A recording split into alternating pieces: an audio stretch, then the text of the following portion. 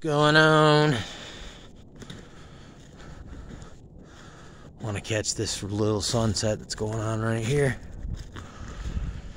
It's like I know once that sun drops below that lower opening there, probably gonna have something cool go happen.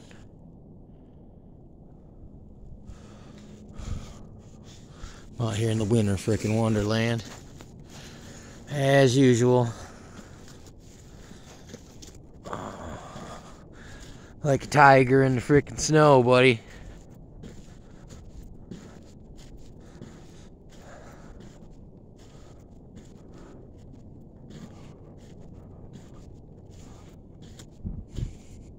That's pretty uh pretty interesting looking.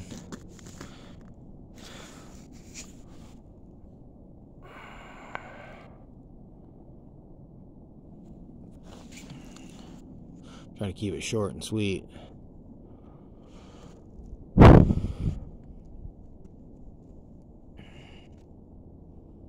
Hmm.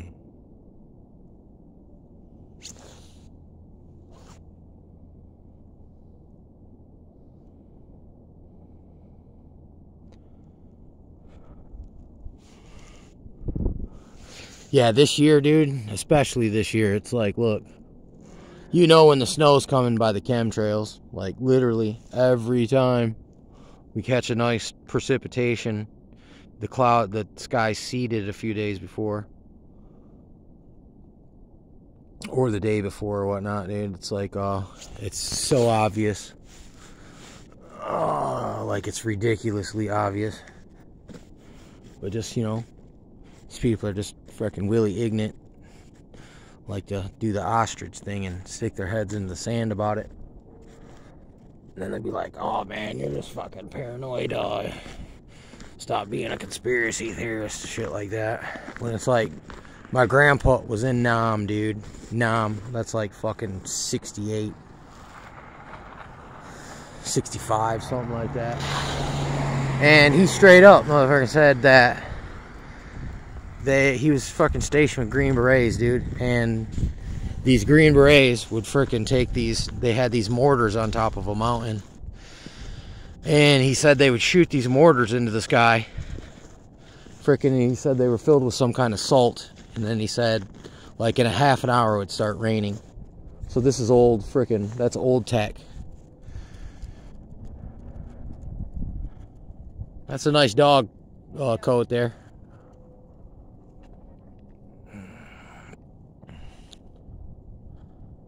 I knew that was going to be a nice sunset.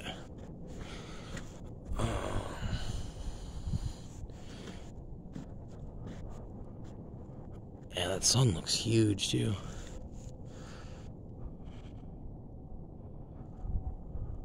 See, it'd be nice now as if some kind of a freaking sun pillar shot up above it real quick. Oh, see, there's a camera laying it down right Wait, where is he at? What the hell? There he is. Camera laying it down right now. You know what I'm saying? Like them Green Berets in Vietnam that would shoot the uh, mortars of salt in the sky, and then half an hour later it start raining.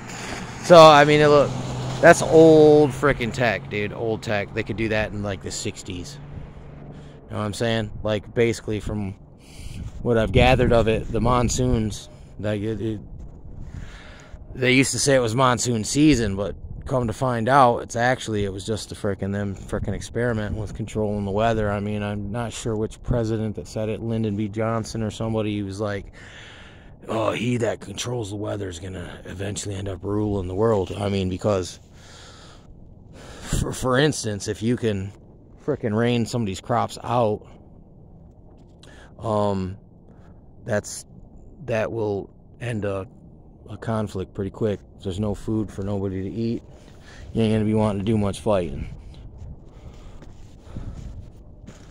So, I mean, literally, man, the writing's on the wall. It's in the sky, buddy. Skywriting.